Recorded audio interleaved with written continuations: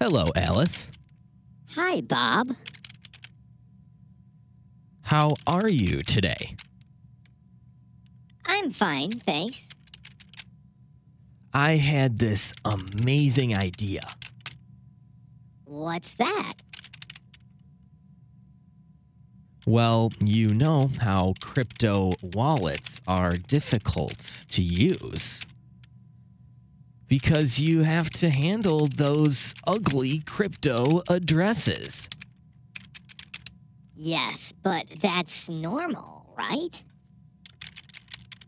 Yes, but users have to send those addresses to each other somehow. With errors, clipboard hijacks, address reuse, and other bad things. Yes, exactly. So you have an idea to improve this? Because users need to communicate addresses anyway.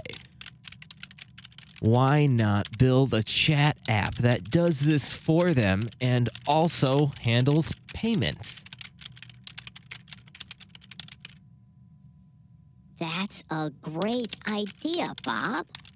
Are you going to start working on this soon? I already did. It's called EC Chat, and you're using it right now. Weird. This app seems so natural. I thought we were chatting on IRC. I still owe you for my share of that dinner. Yes, I wasn't going to remind you. Send 100. Amazing. Let me guess. I do balance. To see my balance. Balance. Yes, and when the transaction gets confirmed, your balance will look more like this. Balance. But what if I want to check in a block explorer? Wait, got it. TXID.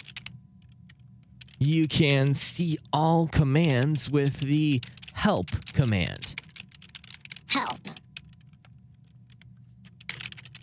So now do you see how integrating payments into chat makes crypto easy?